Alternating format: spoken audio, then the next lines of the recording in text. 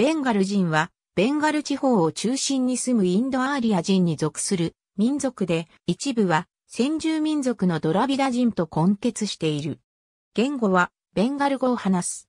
約半分はインド国内に住んでいるが、ベンガル地方のインド側ではヒンドゥー教徒を明らかに上回っている。ベンガル人にはバングラデシュに住む者を中心にイスラム教徒が多い。イスラム教を除けば大部分はヒンドゥー教徒である。その他、少数の仏教徒もいる。